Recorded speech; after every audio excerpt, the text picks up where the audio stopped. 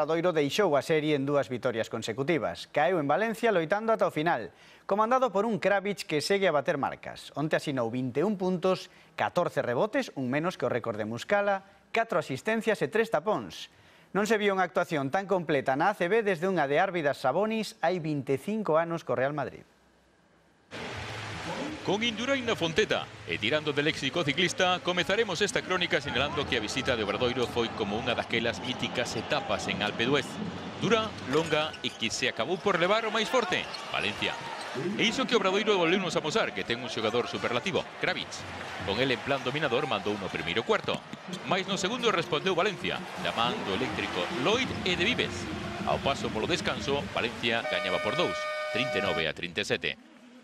A volta, Valencia subiu o nivel tanto atrás como adiante e abriu brecha ao redor dos sete puntos. O Obradoiro tiña máis serios problemas coas perdas e no rebote, pero con todo a aparición de Fond e a solvencia de Kravitz igualaron o partido mediado o último cuarto. Nos minutos decisivos, nas últimas rampas que apuntaría Indurain, estivo mellor o Valencia. Comandado por Vives, acabou por levarse o partido por 10, 86 a 76. Dous datos para reflexión. Valencia colleu 15 rebotes ofensivos, unha sangría. E Kravitz pechou o choque con 21 puntos e 15 capturas para 38 de valoración.